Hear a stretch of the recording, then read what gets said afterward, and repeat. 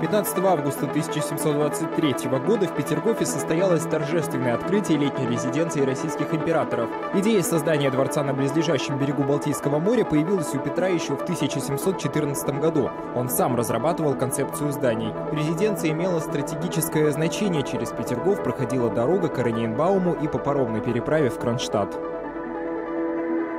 15 августа 1877 года изобретатель Томас Эдисон предложил использовать слово «алло» в телефонных разговорах. В письме президенту Питтсбургской телеграфной компании он написал, что вместо «эй» лучше использовать «hello», что в переводе означает «привет». В русском языке это слово быстро трансформировалось в «алло».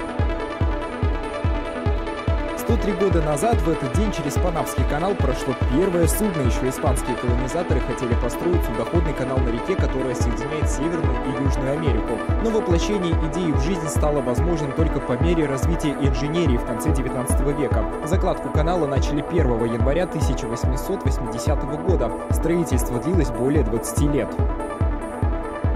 А Южному Уралу этот день запомнился следующим.